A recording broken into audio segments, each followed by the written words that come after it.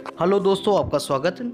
ये प्रश्न Uttarakhand A P O 2007 में आया। प्रश्न है, एक मूक व्यक्ति के द्वारा साच विधि की धारा 119 के अंतर्गत लिखित रूप में दिए गए साच का प्रकार है। तो पहला ऑप्शन है दस्तावेजी साच, दूसरा ऑप्शन है मौखिक साच, तीसरा ऑप्शन है इलेक्ट्रॉनिक साच, चौथा ऑप्शन है उपरोक्त में से कोई नहीं। तो इसका सही आंसर है बी नंबर मौखिक साच।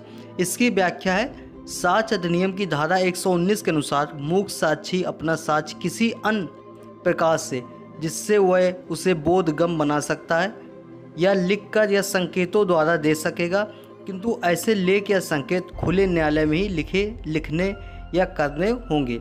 इस प्रकार दिया गया साच मौखिक साच समझा जाएगा। दोस्तों, अगर आपको वीडियो पसंद आए तो लाइक करें, सब्सक्राइब करें। अगर आप ये वीडियो फेसबुक में देख रहे हैं तो फॉलो करें लाइक करें शेयर करें। धन्यवाद।